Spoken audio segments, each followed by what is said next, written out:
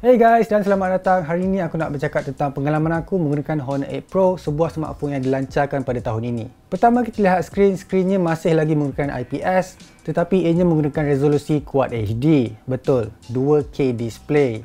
Lagi bagus daripada flagship yang menawarkan 1080p pada harga 3K. Skrinnya nampak jelas dan sudah tentunya IPS display dapat dilihat dengan baik di bawah cahaya matahari. Honor 8 Pro membekalkan 4000 mAh. Yes, 4000 mAh. Disebabkan itu juga kegunaan aku dapat bertahan sehingga 7 jam dengan hanya menggunakan cellular data. Bukan satu kejutan di sini, ini adalah bukti bahawa lagi besar bateri maka lagi panjang bateri life. Dan jika pengeluar smartphone luar sana ingin meniru sesuatu, aku rasa cuba tiru apa yang Honor 8 Pro buat iaitu meletakkan 4000 mAh pada smartphone mereka. Operating sistemnya menjalankan Android 7.0 dengan EMUI 5.1. Semua sistem berjalan dengan lancar dan aku tidak mengalami sebarang masalah pada aplikasi ataupun fungsi yang ditawarkan.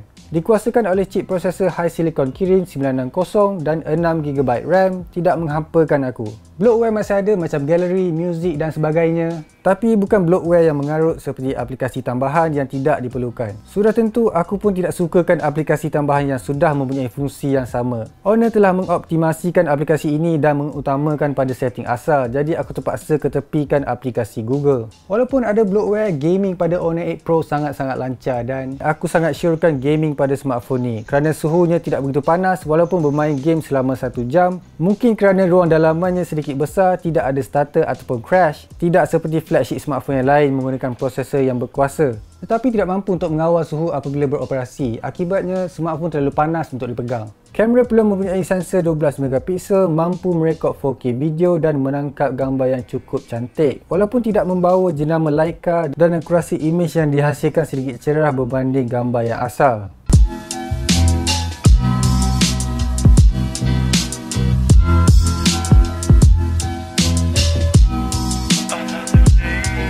Kameranya juga menawarkan 3D Creator yang mana menangkap gambar 3D muka dan diletakkan pada patung animasi. Hasilnya, animasi nampak sedikit pelik.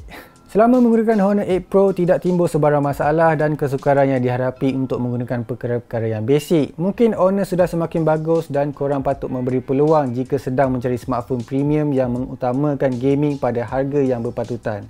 Honor 8 Pro meletakkan fungsi premium yang lepas tidak lagi ada pada masa sekarang seperti headphone jack, IR blaster, bateri yang besar dan even speakernya pun lagi kuat dan jelas. Kekurangannya mungkin tidak mempunyai wireless charging tapi wireless charging masih lagi boleh meluas seperti fast charging. Secara keseluruhannya Honor 8 Pro sangat bagus. Ya, sangat-sangat bagus terutamanya apabila Honor 8 Pro ditawarkan pada harga RM1999. Okey, itu saja guys. Leave a like and subscribe and I will see you guys on my next video.